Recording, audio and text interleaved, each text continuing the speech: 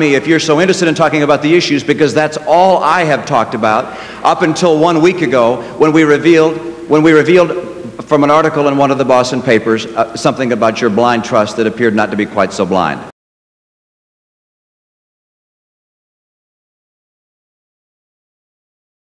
Despite Romney's new pro-life policy stance, he invests personal money in two companies involved with embryonic stem cell research. Romney says that his money's in a blind trust, but when Ted Kennedy used the blind trust defense back in 94, Romney called that a ruse, in other words, a trick.